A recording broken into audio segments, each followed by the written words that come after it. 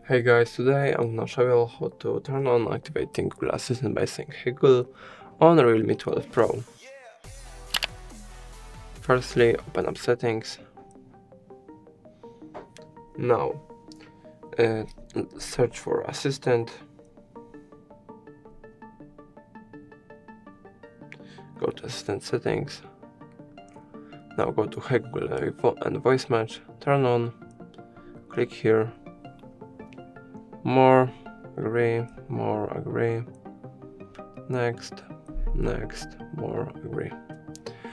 And as you can see hey google is turned on uh, so let's maybe try it. Hey google.